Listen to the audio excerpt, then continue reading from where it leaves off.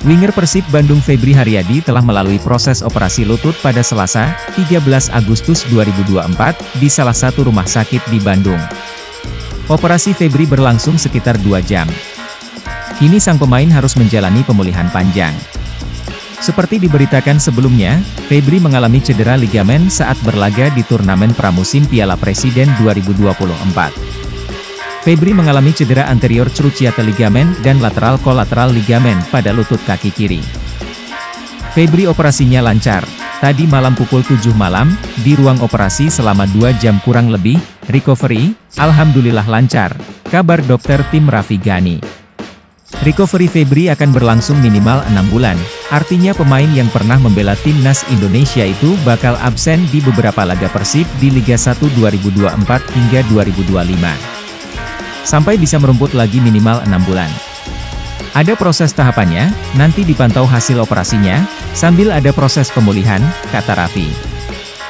Jadi, terus dipantau selama 6 bulan ini, sebab nanti juga ada program yang harus dijalani Febri, di fisioterapi, terang Raffi.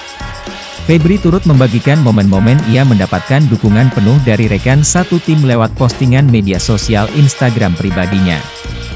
Febri menuliskan caption yang menunjukkan kekecewaan dan ketabahan menghadapi cobaan sebagai atlet sepak bola.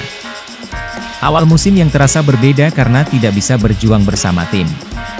Kecewa sudah pasti, tetapi bagaimanapun ini adalah bagian dari perjalanan karir sepak bola yang harus saya hadapi, tulis Febri dengan tegar.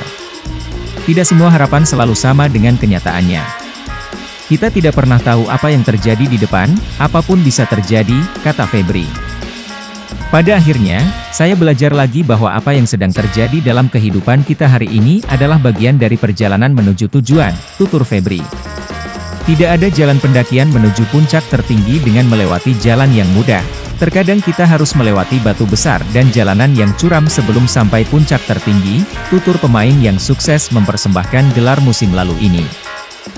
Febri harap ia bisa kuat dalam menghadapi cobaan yang dihadapinya saat ini.